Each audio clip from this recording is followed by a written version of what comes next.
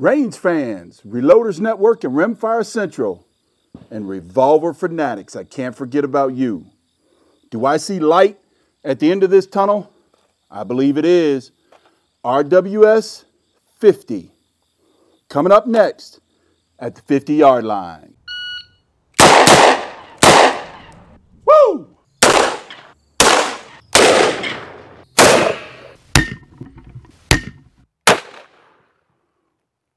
Woo! Hard hitter. Welcome, range fans. Mr. Revolver Guy here with dayattherange.com. All right, range fans, I'm back on the 50 yard line with the RWS R50 ammunition, and I've got three rifles out today. And by the way, yes, for the revolver fanatics out there, I believe I see light at the end of the tunnel. This is the last ammunition I have to test. I think there might be one additional video where I will take pieces of the best shots from each brand of ammunition, make sure I understand how it shot or how accuracy was, um, and then piece those videos together in a little bit of a collage to show you what ammunition shot best in what rifle. So we're going to test RWS R50 today. I got a little bit of a different setup downrange. We're going to fire 20 targets or we're going to fire 20 rounds on four different targets, then five rounds on the Crybaby Maker, that one incher. And I've got the three rifles out here. We're starting with the Christensen Arms first. Then we're going to move over to the CZ 455 with the Walther barrel. And then last but not least, least that venomous Lithgow LA 101. That's right, I've got all three out. So you might want to go get your favorite snack and a good cold pop or good cold water, whatever is your favorite drink of choice. Have a seat, put this up on the big screen, and let's see what RWS R50 turns out like. I tell you what, I've got high hopes, and um, I hope I'm not let down. Tell you what, I get on camera, and good gracious alive, my group seemed to fall apart. But let's see what we can do. All right, here we go. Uh, RWS R50. Bottom left green target. Those green dots are two inches. The one in the center that we'll come back to and put five rounds on is one inch.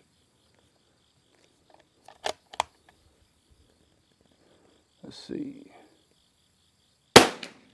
Oh, shot low.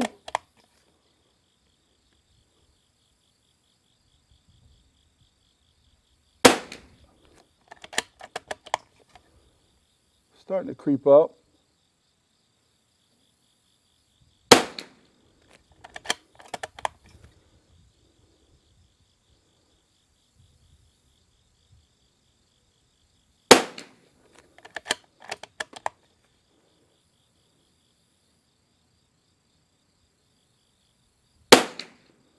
Man, the Christensen doesn't like this at all. Let's move on to the next target. Well, you know what? That's right, folks. Yep. Now see me make a scope adjustment.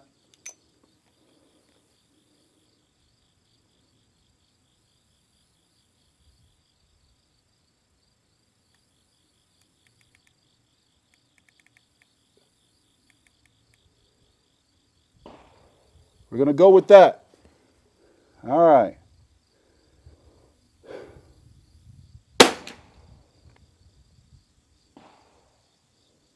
Where did that round go?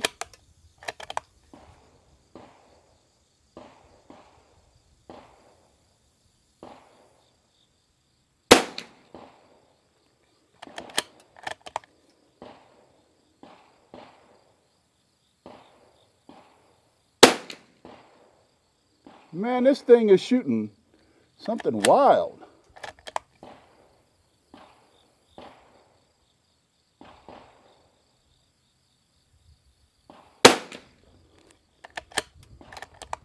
Or maybe it's not.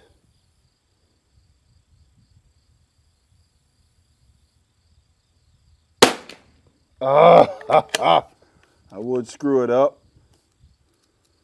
All right. Let's see here. All right, we're going to go five rounds on the third target to the right.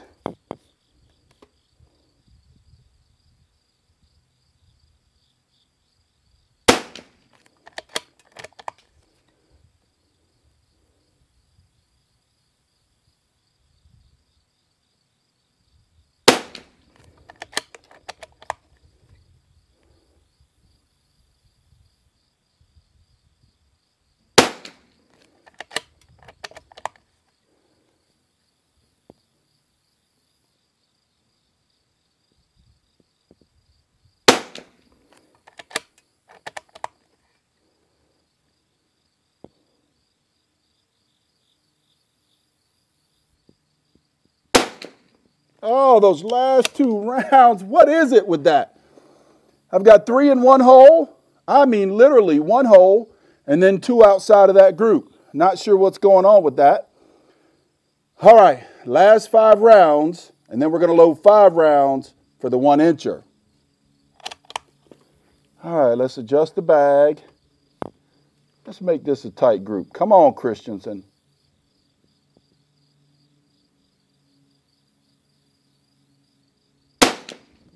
Nope, way off.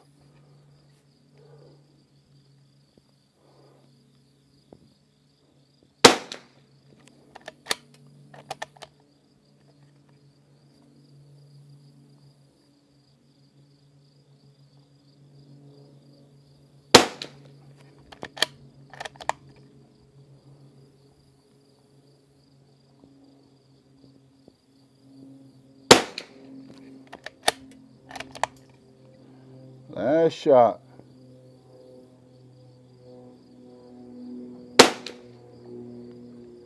Not too bad with the RWS and the old Christensen. Let's take out five more. And um, now we're going for the one incher downrange.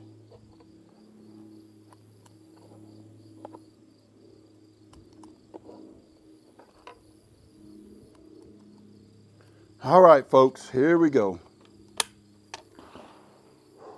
One incher, dead center. Let's get this right.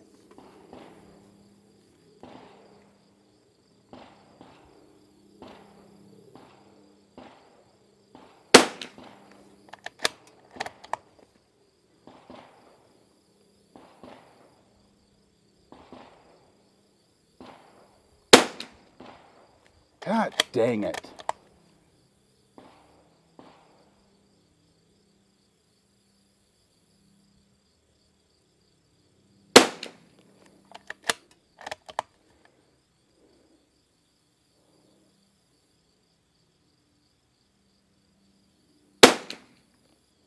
I don't know. Not sure what's going on here.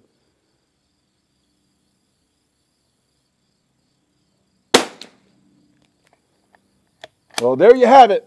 You're going to want to stick around to the end of the video because I'll show you the sizing of the groups. I don't think the Christensen cared too much for the RWSR 50. By the way, folks, I'm telling you, if you haven't checked out dayattherange.com and the 22 challenge call out, now is the time to do it. I actually got a submission from a nine year old. And uh, what is it? LM number nine. And man, oh man, did she do quite well with a 1022 from a um, kneeling position. The bipod looked to seem to be a little high. So she was actually on a bipod with both knees on a bench. I would have to imagine fairly unstable. When you think about that position itself, kneeling is pretty hard to master. And to see what she did with the 1022, you guys need to get over there and check it out. I thought that was uh, pretty exciting. Next up, the CZ 452 coming up next. All right, folks, I've got the CZ 452 with my cheek riser that I'm pretty fond of on the bench with me. And I've got 25 rounds loaded up in the CZ455 varmint with Lothar Walther barrel and Harrell tuner on it. I have not tuned it for the RWS 50. Some say that's, you know, totally unfair. But uh, if I find out which one shoots the best, I plan to shoot this thing a lot, get it tuned to that specific ammo. I hope it's not RWS R50 because man, oh man, is it expensive. But anyways, we're going to go the same route as we did with the Christensen Arms. I hope you're only halfway through with your cold beverage at this point.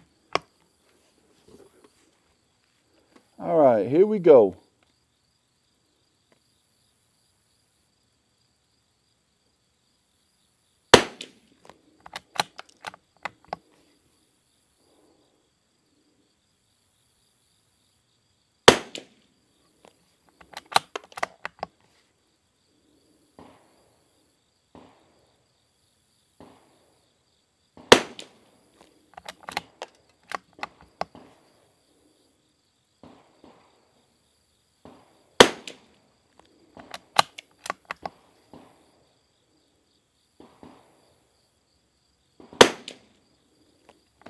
Not too bad, definitely a tighter group than the Christensen in the first go around. We're gonna put the old 10 round magazine in here. See how well it does. Gonna go five rounds on the second target to the right.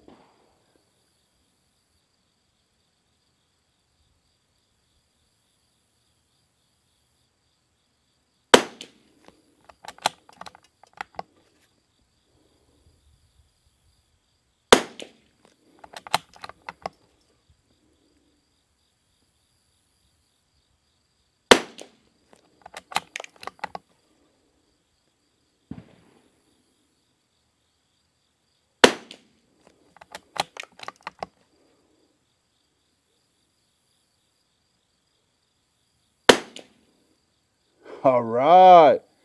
Now that's what I'm talking about. Nice tight group. Let's move it over. Now we're going with three rounds or five rounds on the third target to the right. I tell you what, the closer I get, the more I'm screwing it up because I'm getting out of this rabbit hole.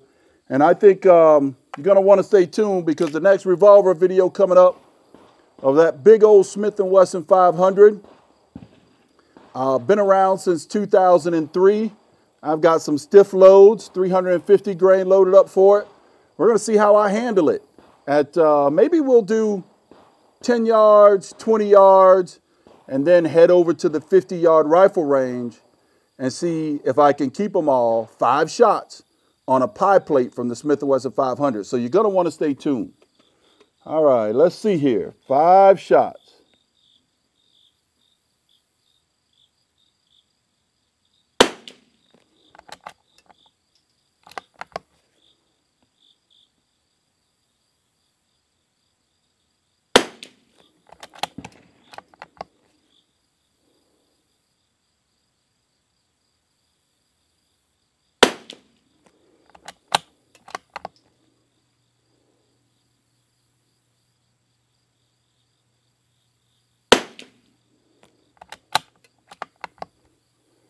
I'm getting the shakes from that group. Whoo!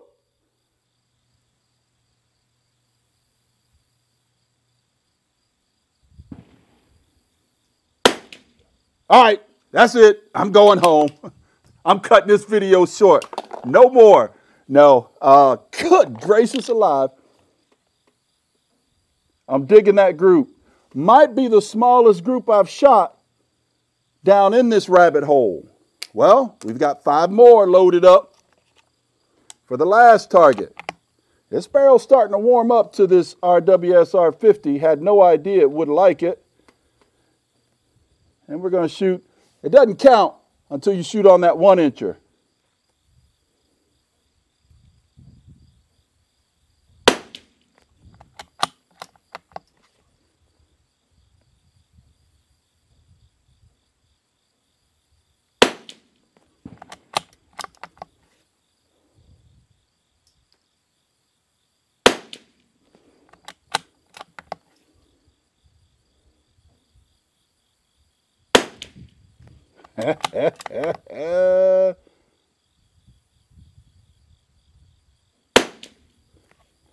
oh my goodness.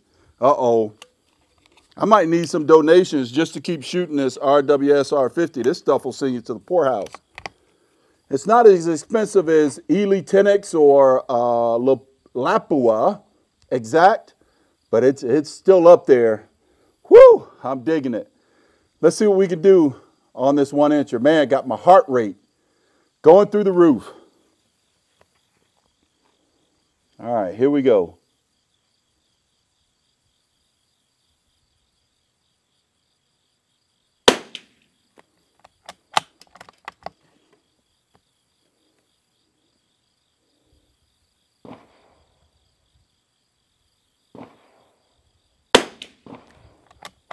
And then I fall apart.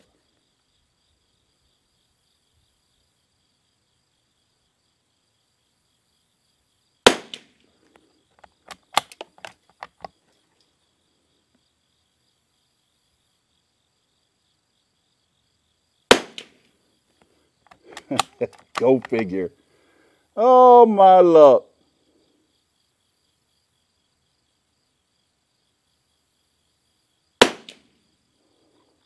I guess one could say my luck and also my skill. Man, when it counts, I'm choking. Whoo! Cannot believe this, but I tell you what, this CZ 455 turned in some awesome groups today with the RWSR 50. But folks, we're just about there. Go fill up on your cold beverage of choice and your snack of choice, and let's get down to the Lithgow LA 101. I see light at the end of this tunnel. Last box down the rabbit hole. Be right back. All right, Range fans, I got the old Lithgow LA 101 out on the bench with me today. This is it. I'm shooting my way out of the rabbit hole. I can see the door right there. The door to this rabbit hole. I'm coming out of this rabbit hole, going to get back to a few revolvers, and also got a few special rifles uh, that others uh, have loaned me with suppressor. No, they didn't loan me the suppressor. That would be illegal. But they're going to join me out on the range with some new suppressors that they um, have just recently acquired. And we're going to do some suppressor shooting with um, 224 Valkyrie and see how that goes. But until then, we're here with the Lithgow LA101. I've got 10 rounds loaded up in this bad boy. Let's get after it. All right. Oh boy, here we go. Man, I tell you, I really love this. I know it's a hunting scope, but it's a Redfield owned by Leupold, and uh, they've discontinued them. Man, the glass is just spectacular. They may have discontinued them because uh, taking funds away from the original brand. Who knows? I don't know speculating. That's how fake news gets out. I have no idea, folks. But uh, what I do know is we're going to put some RWS R50 on target downrange out of Lithgow, LA 101. Let's see here.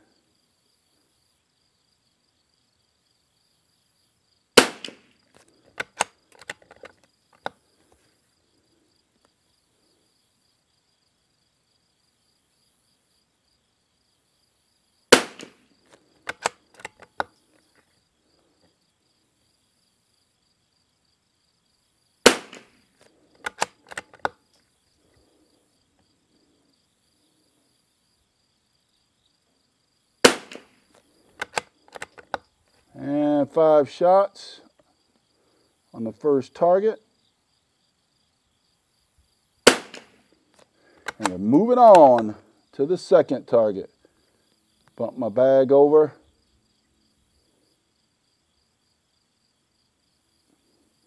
Yep, 10 round magazine.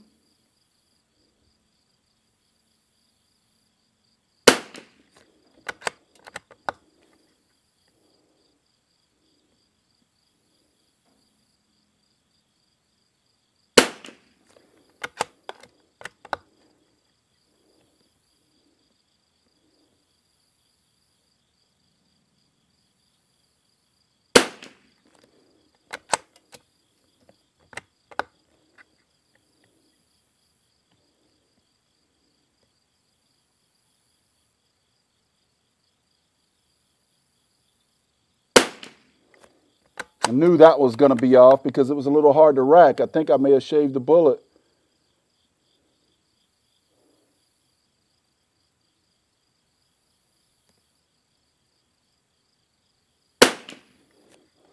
So far, I still think that CZ455 is the best of the bunch with the RWS R50. All right, let's go for the third target to the right there.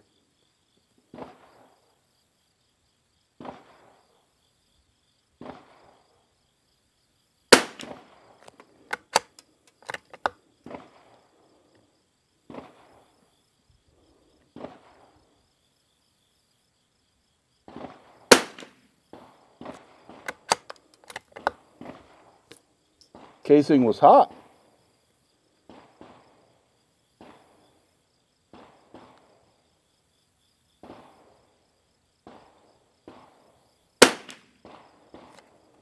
Three.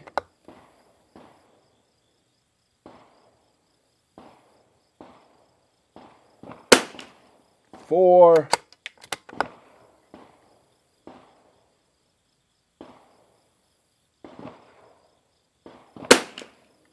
Five. Not too bad, but still nowhere near close to that uh, CZ455. That thing was a monster with this ammunition. And last target, bump the bag over.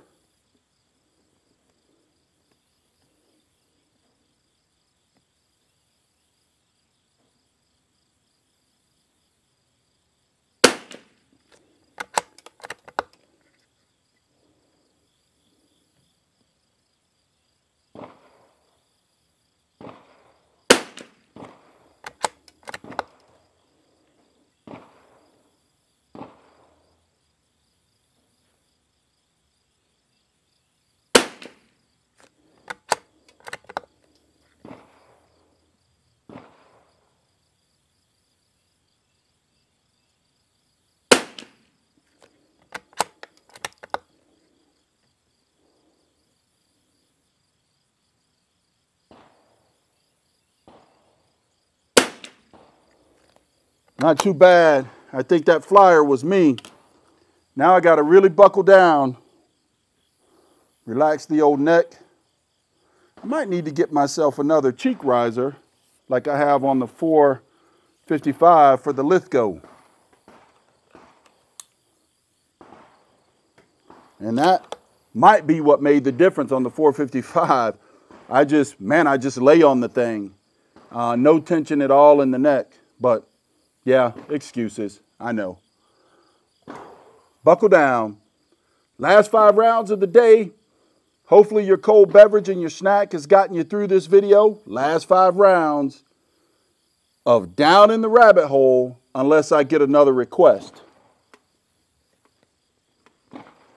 All right, let's see if we can make them the best.